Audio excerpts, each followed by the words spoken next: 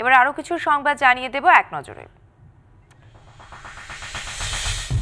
কৃষি পণ্য প্রক্রিয়াজাতকরণে বিশ্বব্যাংকের দেয়া পাঁচশো মিলিয়ন মার্কিন ডলারের সহায়তায় আকর্ষণীয় প্রকল্প দেখাতে হবে বলে জানিয়েছেন কৃষিমন্ত্রী আব্দুর রাজ্জাক। দুপুরে তার দপ্তরে বিশ্বব্যাংকের প্রতিনিধিদের সাক্ষাৎ শেষে কথা জানান মন্ত্রী।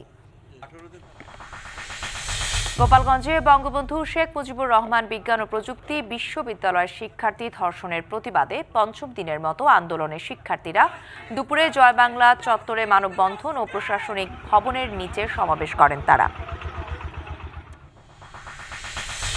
ময়মনসিংহ মেডিকেল কলেজের এক শিক্ষকের বিরুদ্ধে শিক্ষার্থীকে যৌন হয়রানির অভিযোগে ক্লাস পরীক্ষা বর্জন করেছেন শিক্ষকরা। রবিবার রাতে শিক্ষকদের এক সভায় আটচল্লিশ ঘণ্টার লাগাতার ক্লাস ও পরীক্ষা বর্জনের কর্মসূচি ঘোষণা করা হয়। বিস্ফোরক দ্রব্য আইনের মামলায় জেএমবির খুলনা বিভাগীয় প্রধান জিয়াউর রহমান সাগরকে ২০ বছরের কারাদণ্ড দিয়েছে আদালত।